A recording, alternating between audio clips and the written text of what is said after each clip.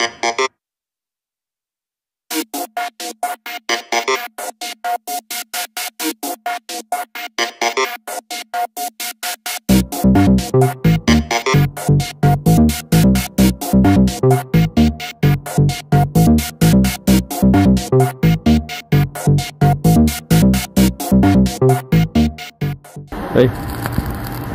here's the uh, website down low about the Leatherman Micra. 10 tools and worth a look.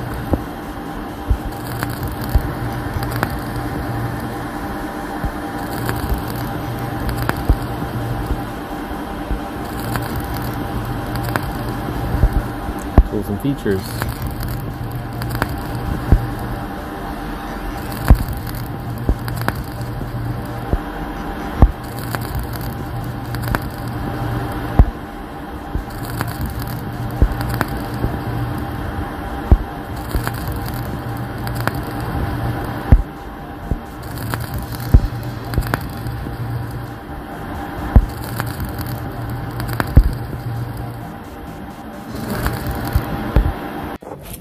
And here is the Leatherman Micra.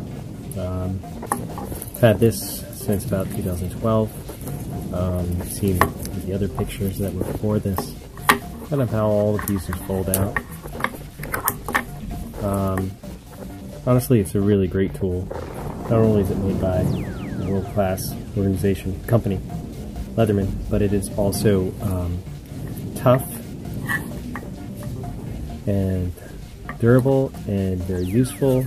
And if you can probably tell here, I had mine for quite a while. The paint started to wear off a little bit, but um, all I had to do really was resharpen uh, the scissors and the blade once because I use it. Um, I don't like the keychain. I guess that's a criticism. I don't like the keychain part. I don't like to hook it up to my keys.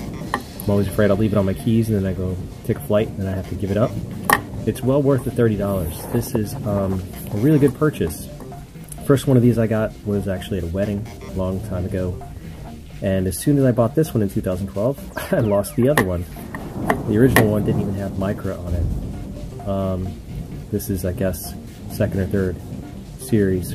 Um, you won't go wrong with Leatherman and you're in the right situation if you have a Leatherman Micra to help you with anything. Useful tools and um, about 10 of them all together. Honestly, um, this is one to have. I would definitely encourage anybody who wants a small uh, multi-tool to consider Leatherman Micra at 30 bucks. Might a little bit more than the uh, some of the competition with uh, their gimmicks, but this is a good little tool.